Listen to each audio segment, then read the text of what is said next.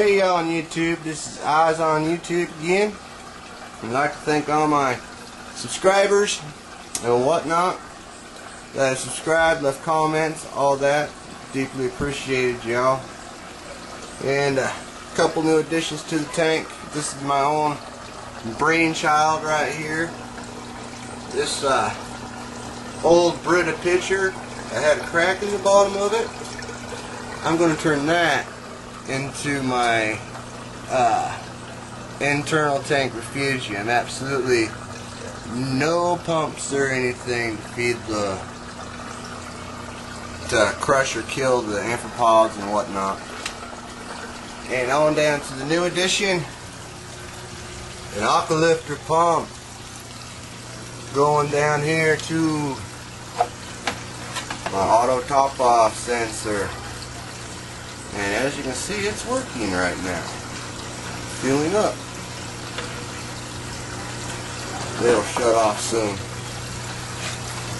I got it's just a sock in there working since this isn't uh, RODI water or anything. It's just a cleansed sock, washed in Clorox bleach, rinsed. It's going to be replaced with a filter sock as soon as I get them. They are ordered along with my RODI unit. Uh, protein skimmer is going to go bye-bye. I'm going to get the um, Odyssey. Can't remember what the brand is, but it's an Odyssey protein skimmer. I think I'm going to go with a lot of their products. I'm not too sure. Everything's working really good. I'm very happy with the tank setup so far. Chomper's going to have himself a new home before long.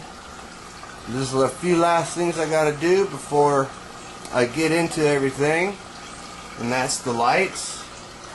I'm going to cut these boards off, flush, and just leave the lights on top, build a canopy. Y'all know that I can build stuff now, so that ain't going to be too hard and uh, do the tank stand. All I need really now is uh, salt and uh, and uh, I think just the RDI unit and 10 pounds of live rock to go with my homemade DIY rock. If people that haven't seen it yet, check out my other videos. I will show how to make it and what it all looks like and the different aquascapes I can do with it. It's going to be interesting trying to fit it all in here with them pipes, but I'll figure out a way. The good thing is, is it'll be a, I can fit some of the rock work back behind there and do all that. It's going to be really cool.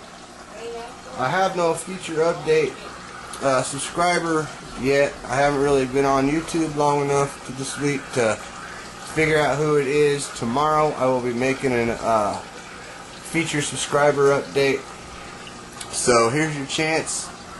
If you haven't commented on my last video, comment on this one and send someone my way. I'm looking to update my subscribers list.